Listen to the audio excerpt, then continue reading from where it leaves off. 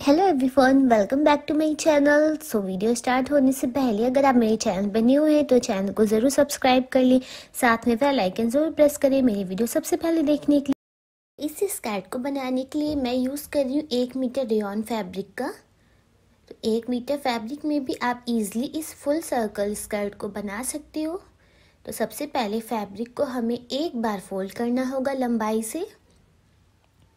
तो इस तरह से फोल्ड कर लेने के बाद इसे दोबारा चौड़ाई से फोल्ड करना होगा। तो इस तरह से हमारा एक रेक्टेंगल क्रिएट हो जाएगा परफेक्टली तो यहाँ पर हमें तीन साइड देख सकते, खुले हुए मिलेंगे तो टोटल चार लेयर कपड़े की मिली है और एक साइड बंद मिलेगा सभी साइड से। तो जिस साइड बंद है हमें वहाँ से मार्किंग कर लेनी होगी। तो यहाँ से हम मार्किंग करेंगे तो हमारे पास कमर थी बाईस इंच हिप राउंड था चौबीस इंच तो हम हिप राउंड से ही कमर की मार्किंग करेंगे तो हिप राउंड को हमें सिक्स पॉइंट टू एट से डिवाइड करना होगा तो हमें मिलेगा फोर पॉइंट टू एट तो फोर पॉइंट टू एट पे हमें मार्किंग करनी होगी। इस तरह से सर्कल बनाते हुए तो अराउंड साढ़े चार इंच पे मार्किंग कर लेनी है।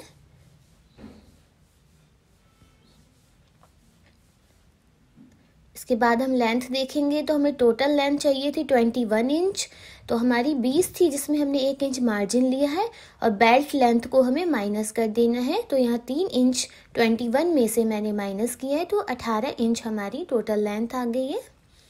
तो अठारह पे मार्किंग कर लिया मैंने।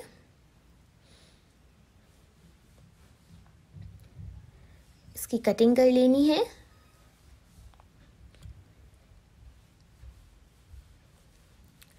और जो कमर वाला पार्ट है, उसे हमें निशान से थोड़ा अंदर की तरफ़ काटना है। एकदम निशान पे ही नहीं काट देना है। तो इस तरह से ओपन करेंगे। आप देख सकते हैं, एक भी ज्वाइंट हमारा नहीं आएगा। हमारी फुल घेर वाली स्कर्ट यहाँ पे कट हो जाएगी। अब यहाँ पे हम इसकी कमर की नाप करेंगे तो हमें मिल रहा है बत्तीस इंच। तो अब हमें बेल्ट निकालनी होगी। की चौड़ाई हमें साढ़े छः इंच लेनी है। बेल्ट की लंबाई है मैंने चौंतीस इंच ली है। बत्तीस में दो इंच एक्स्ट्रा रखा है मैंने।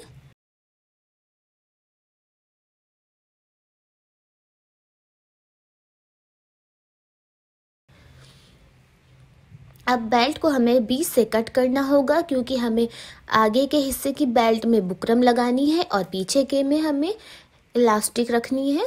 तो सबसे पहले हम जो आगे का हमारा हिस्सा रहेगा बुकरम वाला, उसके लिए बुकरम को हम अटैच करेंगे। तो यहाँ पर मैंने ये चिपकने वाली बुकरम यूज़ की है।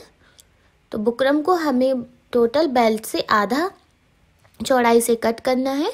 और बुकरम की लंबाई भी मैंने सत्रह इंच ही रखी है। अब बुकरम की चौड़ाई यहाँ मैंने रखी है अराउंड ढाई इंच। हमें बुकरम को यहाँ मैंने स्टिक कर लिया है। इसके बाद बुकरम चिपकाने के बाद हमें फैब्रिक को इस तरह फोल्ड कर लेना है और स्कर्ट पे इसको हमें सिलना होगा। तो ये हमारा जो आगे का पार्ट है, जो बुकरम वाला, और ये हमारा पीछे का पार्ट हो गया, जिसमें हम इलास्टिक को ऐड करेंगे।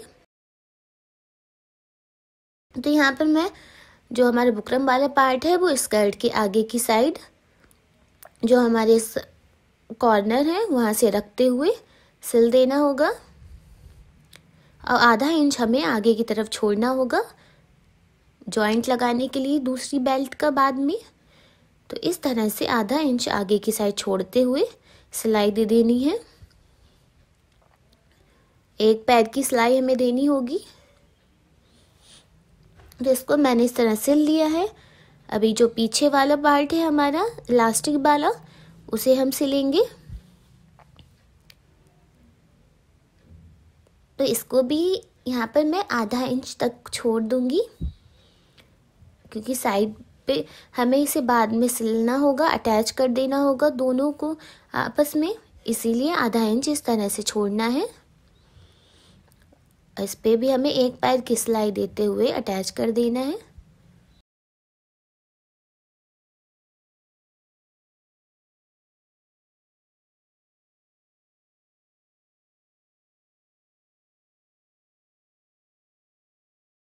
इस तरह से मैंने इस पे भी एक पैर की सिलाई देते हुए अटैच कर लिया है।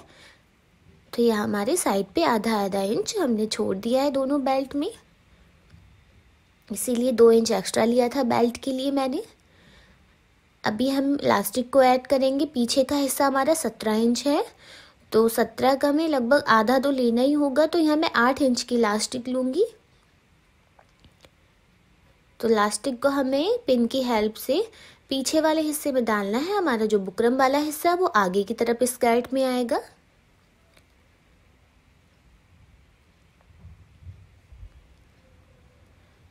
तो लास्टिक को इस तरह इंसर्ट करने के बाद दोनों साइड से लास्टिक को सिल देना होगा ताकि वो खिसके नहीं। तो पहले लास्टिक को दोनों साइड से हमें जॉइंट लगाना होगा पिन निकाल देने के बाद। तो यहाँ पे इस तरह से दोनों साइड लास्टिक को हमें दबाना है, जिससे वो खिसके नहीं। दोनों साइड दबाने के बाद हमें एक बीच में सिलाई देनी है खींचते हुए फैब्रिक को।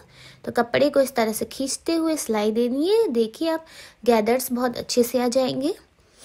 तो ये हमारा बैक साइड एरिया क्रिएट हो गया है। अभी जो ज्वाइंट है हमारा आधा आधा इंच छोड़ा था, उस पर हमें सीधी सिलाई दोनों तरफ़ दे देनी है इस तरह से। दोनों को जोड़ देना है। तो दोनों साइड इस तरह से सिलाई देते हुए अटैच करना है। अभी देख सकते हैं बॉटम पे मैंने पिको कर लिया है, जिससे काफ़ी अच्छी फ्लेयर आ गई स्कर्ट की। और बैक साइड देख सकते हैं लास्टिक का आ गया हमारा। अब देख सकते हैं कितना परफेक्टली एंड ईजली आप ये प्रिटी सी स्कर्ट को क्रिएट कर सकते हैं।